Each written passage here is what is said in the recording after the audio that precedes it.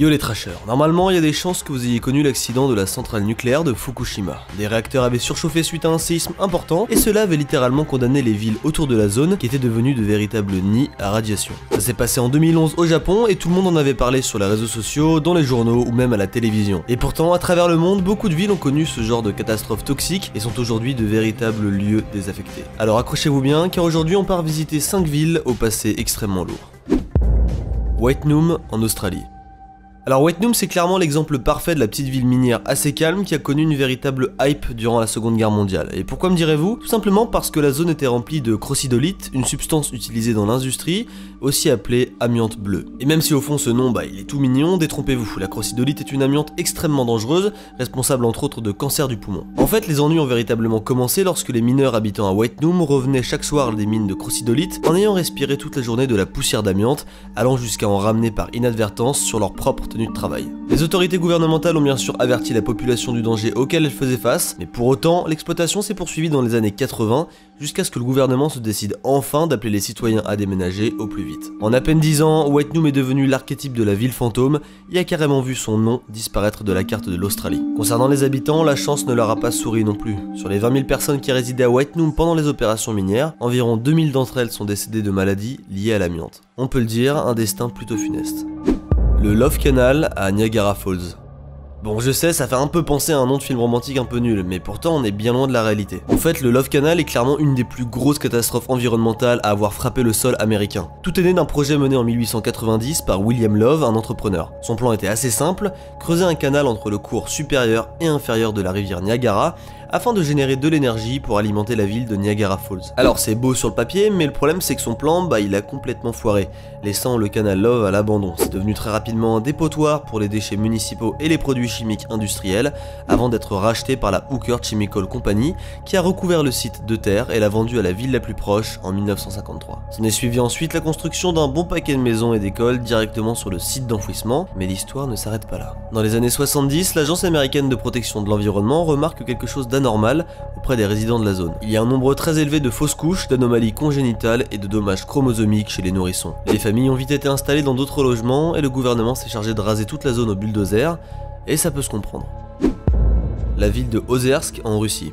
Fondée sur les rives du lac Irtyach, Ozersk s'est d'abord appelé City 40 ou ville numéro 40 en français. Et si ce nom vous paraît chelou, cela s'explique surtout par le statut d'Ozersk qui a été pendant très longtemps le berceau du programme d'armement nucléaire soviétique après la Seconde Guerre mondiale, donc pendant la guerre froide. C'était une ville close et surveillée en raison de sa proximité avec le complexe nucléaire Mayak, une des sources principales de plutonium. Mais qui dit usine de plutonium dit risque de contamination, et c'est exactement ce qui est arrivé à Ozersk ainsi qu'aux campagnes environnantes. En gros, entre 1945 et 1957, le complexe Mayak a déversé et rejeté de grandes quantités de matière radioactive dans la zone. Et bien sûr, c'est que le début. En 1957, la région tout entière va devenir le théâtre d'un désastre majeur, la catastrophe nucléaire de Kishtim liée à l'explosion d'un réservoir du site Mayak. Mesuré comme niveau 6 sur 7 sur l'échelle internationale des événements nucléaires, c'est avec la catastrophe de Tchernobyl et celle de Fukushima l'un des plus graves accidents nucléaires jamais connus sur Terre. Et justement, si je vous parle de cette ville plutôt que de Tchernobyl ou de Fukushima, c'est surtout à cause du complot gouvernemental qui a eu lieu autour de cet événement. L'affaire a été secrètement dissimulée et peu de gens à l'intérieur ou à l'extérieur de la Russie étaient au courant de toute l'ampleur du désastre. Les victimes perdaient la peau de leur visage et de leurs mains sans savoir pourquoi,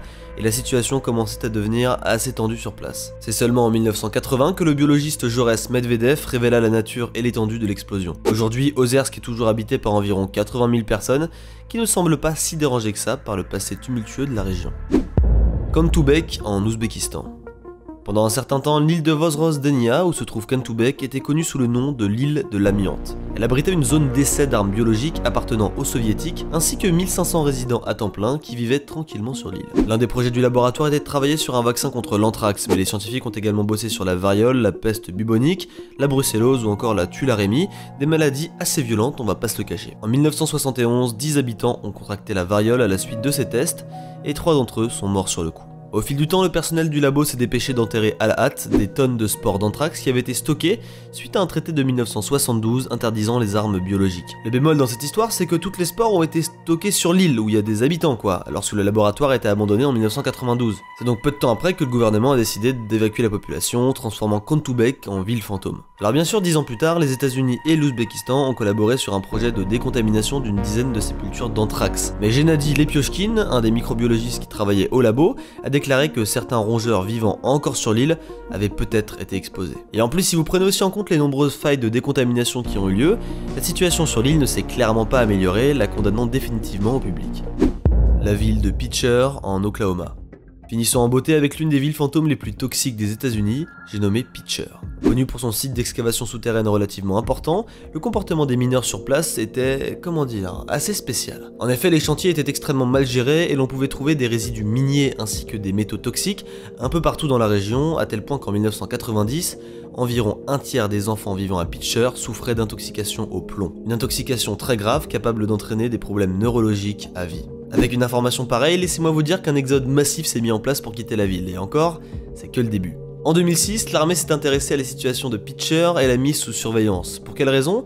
Eh bien tout simplement parce qu'environ 90% des bâtiments de la ville menaçaient de s'effondrer à tout moment à cause des mines. Et comme si c'était pas assez, une tornade assez fat est passée faire un petit coucou aux habitants restants, ce qui a accéléré l'exode de la population. Aujourd'hui, il ne reste plus qu'une dizaine d'habitants qui refusent de partir malgré les circonstances. Comme Centralia, Gilman ou encore Whitenoom, dont j'ai parlé un peu plus tôt, Pitcher fait partie de ces villes déclarées inhabitables par le gouvernement, mais qui continuent d'être protégées par les citoyens les plus fidèles. Vous l'avez vu, bon nombre de villes autrefois prospères sont aujourd'hui des zones difficilement habitables, des ruines, ou bien tout simplement des no man's land dangereux et interdits au public. Et le pire dans cette histoire, c'est que tout ça est lié à l'impact de l'être humain. L'impact de scientifiques, de mineurs ou encore d'entrepreneurs ambitieux qui pensaient bien faire mais qui ont finalement contribué au désastre dans la plupart des cas. La population, mais aussi la faune, la flore et les sols ont été totalement intoxiqués. Et au bout du compte, ces lieux sont devenus le repère de squatteurs, d'explorateurs, mais aussi de citoyens qui ont décidé de consacrer leur vie à la défense de leur patrimoine. J'espère que cette vidéo vous a plu et si c'est le cas n'hésitez pas à lâcher un gros pouce bleu pour nous soutenir. Vous pouvez aussi vous abonner à Trash ainsi qu'à ma chaîne personnelle en cliquant sur les petits ronds sur l'écran. C'était Arthur DB et n'oubliez jamais, le doute est la clé de la connaissance. Ciao